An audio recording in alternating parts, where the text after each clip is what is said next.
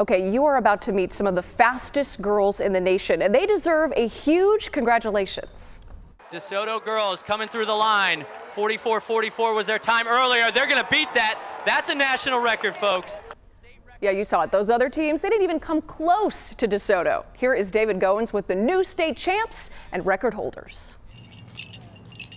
We haven't timed it yet, but this might be the slowest you'll ever see these three move. I'm exhausted. Yeah.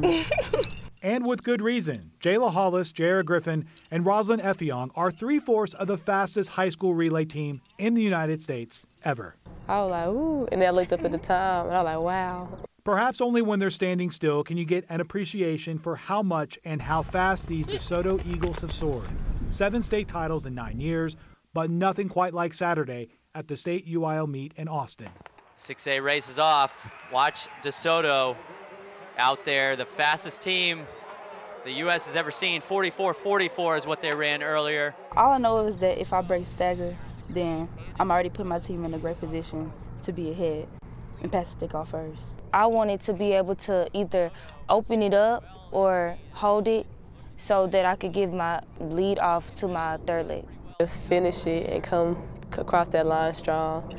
Cause my teammates, they put me all, like all of them put me in a good position, so I'm like, just bring it home. I, it just went by fast, so I don't, I don't really remember anything. It didn't feel like it was our fastest. But our handoffs were good, so we knew that it had to be, you know, something fast. They're gonna beat that. That's a national record, folks. Oh my goodness. we did it again. In the biggest way possible. The races started and they were just winning gold and silver and bronze gold and gold and gold and gold and more gold. And the most points ever in a state track and field meet.